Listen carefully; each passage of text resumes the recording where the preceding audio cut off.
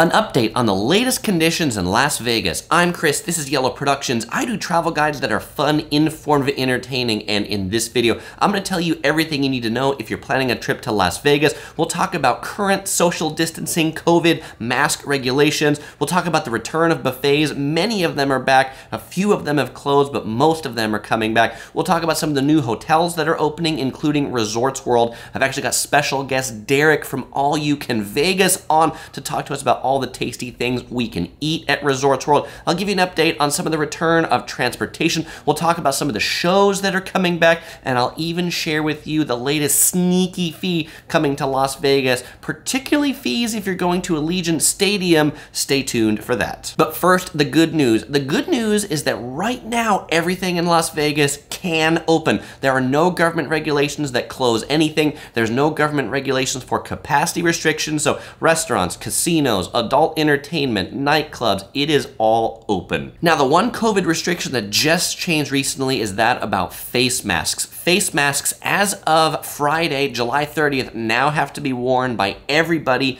indoors, whether they are vaccinated, unvaccinated, it doesn't matter. Everybody currently inside must wear a mask unless they're eating, unless they're a show performer or a musician. Those people on stage don't have to wear it, but you, if you're inside a casino, you do. Now, the good news on the mask regulation is it only applies inside. If you're outside, you don't have to wear a mask, so good news for that. No more mask tan lines at the swimming pool. Now, I'm sure this new mask regulation is gonna end up having people cancel their trips to Las Vegas. I've already heard a lot of people say they don't wanna go to Las Vegas and wear a mask all day. So the good news for you, if you're still planning to go to Las Vegas is that the room rates are going to be cheaper and there'll be less people there. It'll be easier for you to get the restaurant reservations because I think less people are going to go right now while the face mask mandate is in place. Now, one of my favorite things about Las Vegas is the buffet. I love to eat, and so all you can eat buffets are amazing, particularly the ones in Las Vegas. And the rumored demise of the buffet due to the pandemic,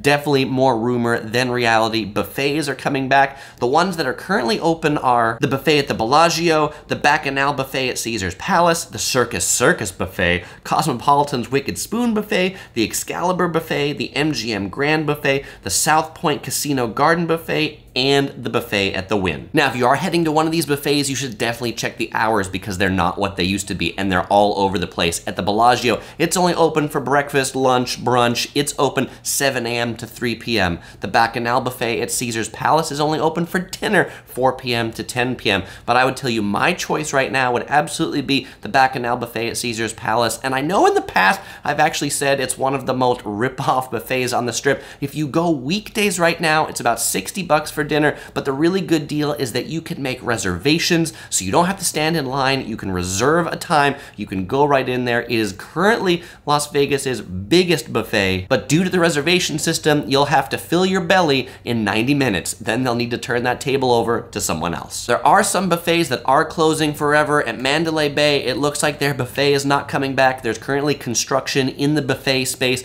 Also, the station casinos, a bit more local casino off the strip, none of their buffets have reopened and it doesn't look like they're reopening anytime soon. If you're planning to eat at a sit-down restaurant, definitely make sure to make a reservation ahead of time. I know I said that there's no current social distancing capacity regulations, but there are challenges with casinos and restaurants getting employees, so they might not have enough employees to actually operate all the tables. Make sure you make a reservation, make it before you even go on your trip. Next up, let's talk about what's going on in gaming. A big trend in gaming related to cost cutting and cost reductions is many of the casinos in Las Vegas are removing table games in favor of electronic games, slot machines, and also semi-live hybrid games. In particular, at a number of Caesars hotels, they've been removing their games at the Flamingo, at the LINQ, at the Cromwell. They've all removed some of their table games and replace them with electronic games. Now, they haven't gotten rid of all of their table games.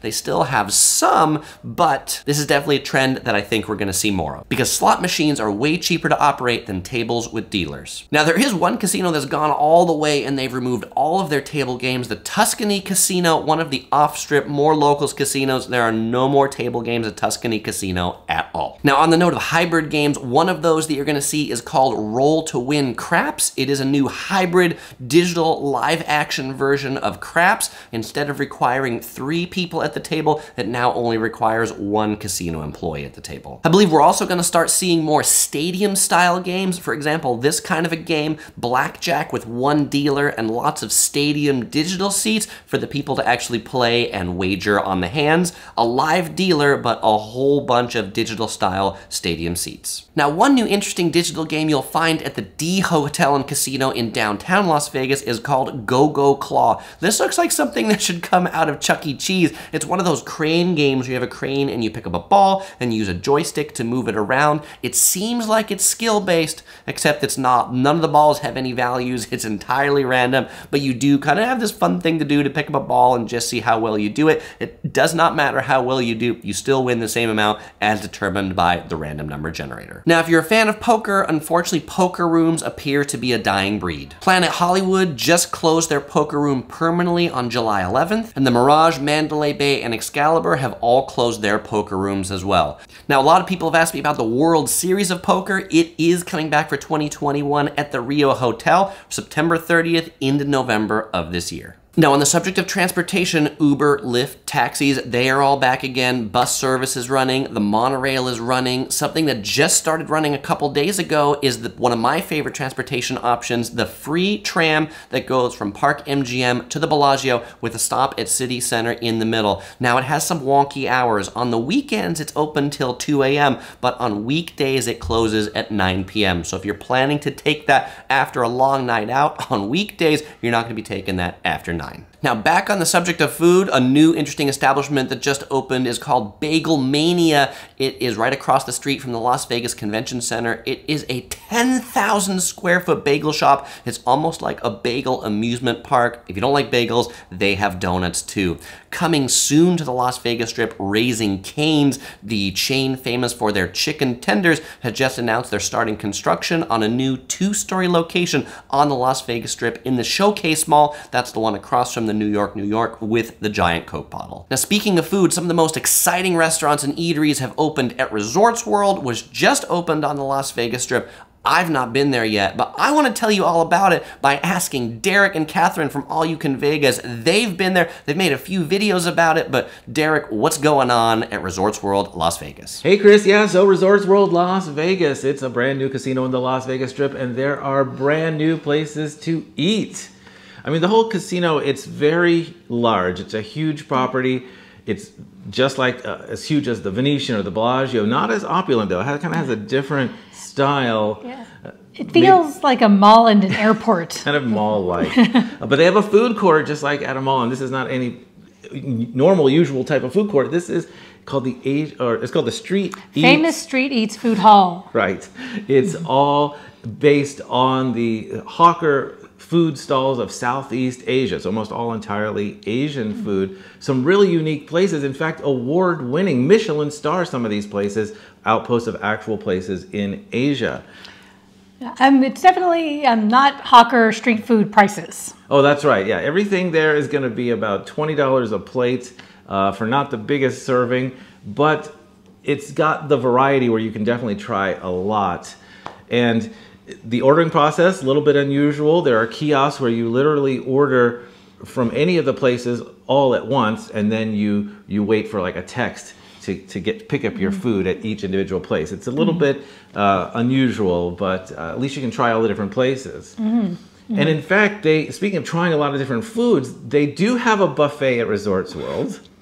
We love buffets here All You Can Vegas, but we haven't been to it. It's at the restaurant called the Kitchen, right. and really, it's it's the reports seem to indicate it's more just like a like a hotel breakfast buffet. Mm -hmm. So it's not the traditional Las Vegas buffet at all. And it's available for breakfast and dinner. Yes, uh, but there are other restaurants, lots of other restaurants there. There's Suns Out, Buns Out, which is like a uh, like Eggslut at the Cosmopolitan for breakfast foods. Mm -hmm. uh, you know, eggs and donuts and stuff like that. Mm-hmm. And everything from that to all the way to Genting Palace, which is their high end Chinese restaurant. We went there. Experience didn't go quite as we had hoped, but uh, You'll have to watch that video to see for yourself. If you're craving Mexican food, there's a Viva by Ray Garcia. If you're craving Italian, there's Brezza. And there's even a steakhouse called Carver Steak opening up later in the year.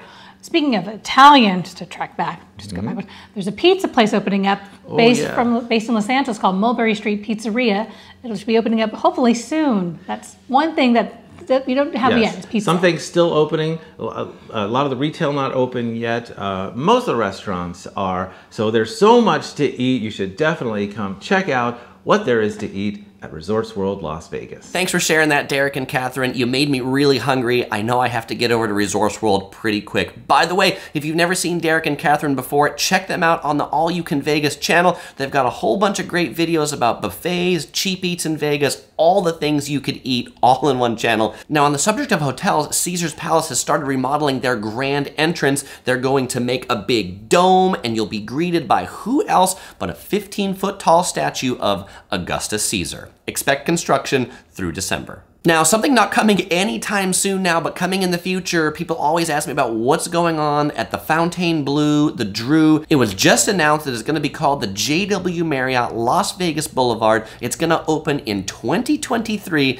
In addition to being a JW Marriott, it's also going to be an Edition branded hotel. The Edition is going to be the top 900 rooms at the top, while the JW Marriott is 3,700 rooms on the lower floors. I really love Marriott, and so I'm looking forward to a JW Marriott on the Las Vegas trip. I'll keep my fingers crossed that this one actually stays on schedule and goes forward. It's really great to see all the entertainment coming back to Las Vegas. In particular, people always ask me about the Cirque shows. So here's the Cirque rundown. O just reopened at the Bellagio. Mystere is currently running at TI. Michael Jackson 1 is online at Mandalay Bay. And Blue Man Group, which yes, is a Cirque show, is open at Luxor. The Beatles Love Show opens this month, August 26th at the Mirage. Ka is missing in action. No reopening opening date announced for that show yet. If you're enjoying this video, I and the Yellow Productions crew would really appreciate it if you hit that like button down there below. It really helps me and the channel out because it lets YouTube know that you like this video so they share it with other people. And every like on this video goes to feed a piece of bamboo to the Yellow Productions crew. And you know what? They're hungry. Now back on the subject of shows, the Fremont Street Experience has live entertainment every night, but their big free show this month is on August 21st when Steven Adler from Guns N' Roses plays their free stage on the Fremont Street Experience. Why is Steven Adler in Vegas? Well, because Guns N' Roses is playing at Allegiant Stadium. Some other events at Allegiant Stadium, the Raiders are playing a preseason game against the Seahawks, and the WWE hosts their Summer Slam event this month too. Now, if you're going to Allegiant Stadium, you should beware of some of their fees. The parking fees at Allegiant Stadium outrageous. To park in some of their closest parking lots, $100. I am not kidding with that number. And all of the hotels and casinos that are nearby Allegiant Stadium have increased their parking fees. Take a look at this parking map for the day of Allegiant Stadium games. You'll notice $50 is the cheapest you're going to pay to park at the neighboring hotels. You want to park at the Delano Hotel at Mandalay Bay, that'll be $102. Now, the other gotcha to pay attention to if you're going to one of these Allegiant Stadium games or shows is their bag policy and the sneaky fees that come along with it. Basically, they only let you bring in the kind of bags that nobody carries. What do I mean by that? All the bags that you can bring into Allegiant Stadium basically are small, clear plastic bags. You can bring in clear backpacks, but anything that isn't clear, they won't let you bring into the stadium. That means that if you have it with you and you took an Uber or Lyft or you walk a long way, what are you going to do with that bag? They kindly have a bag check station for you and they will check that bag for the low fee of $20. So bring your $20. Actually, don't bring it in cash because they don't take cash. It's credit, debit, cashless only, but beware of the bag fees at Allegiant Stadium. Now, slightly smaller than the Allegiant Stadium down at the Strat, they have a new show opening on August 26th called I Illuminate. These people dance around in these really neat pulsating suits. Same technology that I've seen at the Robot Restaurant. This footage that you're looking at is actually not in Las Vegas. This is in Tokyo at the Robot Restaurant, but you'll see things like this at Illuminate. Tickets, pretty reasonable price, $49. And tickets are now on sale for the Whitney Houston hologram show that's opening at Harrah's. This show opens in October, but you can get your tickets now if you already know you'll be going. No doubt due to the success of the Michael Jackson Cirque show, they said, hey, let's give it a try with Whitney Houston. I'm really intrigued to see what this show looks like. Now, on the note of new attractions in Las Vegas, one that's currently open, there's a new escape room that's open at the Venetian in the Grand Canal Shops. It's called Panic. What's its claim to fame? It's the only escape room that combines brain teasing challenges with a full service bar. And then opening in a couple months over by the Hard Rock Cafe on the strip will be this ride called Flyover. It's kind of like Soarin' at Disneyland or Disney World where you fly over different things. Their rides, though, are themed on flying through Iceland or the Wild West. Kind of an odd pairing. Tickets will be $34 should be another interesting attraction. And finally, on the subject of sneaky new fees in Vegas, the latest sneaky fee to invade Vegas, not resort fees, those have been around for a long time. It's the view fee. Chris, what is a view fee? Well, a number of restaurants on the strip that have tables with views, if you want to confirm them, are now charging a fee to reserve a table with a view. In particular, Giada at the Cromwell charges a view fee. The restaurant at the top of the Strat charges a view fee and the restaurant at the Paris and the Eiffel Tower charges a $100 view fee. That's right, at Giada and the Strat, it's $25. That $25 doesn't go to feed you, it is merely so that you can get the table to then buy more food. Yeah, I remember when restaurants with views, you could just ask for a view table and then you'd get one. Well, now you've got to pay for that view. Now, if you are heading to Vegas, you might enjoy watching some of my videos right here. This one all about the best cheap eats in Las Vegas, or maybe this one here about how to save money on your Las Vegas hotel. As usual, I won't say goodbye because I'll see you in one of those videos. Links are also in the description below.